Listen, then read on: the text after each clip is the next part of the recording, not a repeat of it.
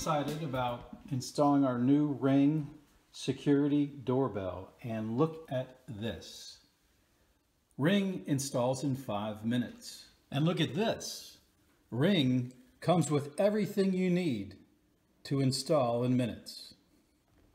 Here we are making preparations for our handy five minute doorbell installation. Set up a device and follow the in-app prompts to create an account.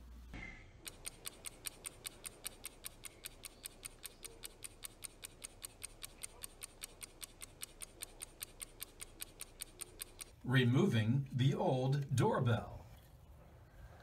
You can jiggle around with it. Oh, I'm supposed to. I forgot I was supposed to turn off the.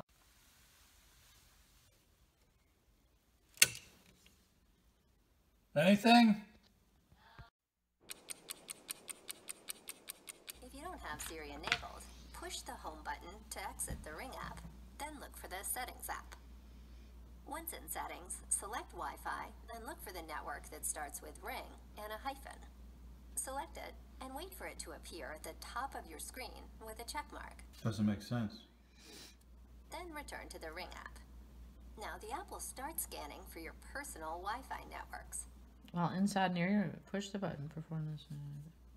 Select the network that you want your Ring doorbell to connect to. If you have more than one, select the network that's closest to where you'll be installing your Ring. Video quad. Where do where do you see the video?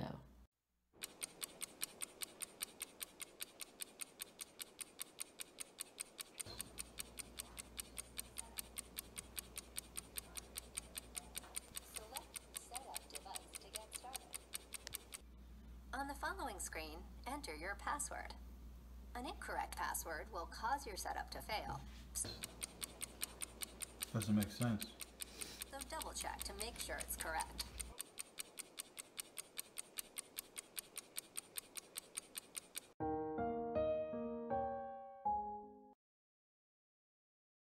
Then select Continue. Next, you should see the light on your ring and in the app change to a blue pattern.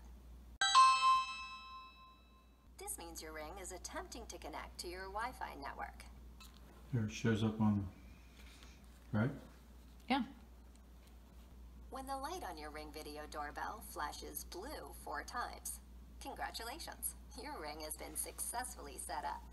Alleluia, alleluia, alleluia, alleluia, alleluia, alleluia, alleluia.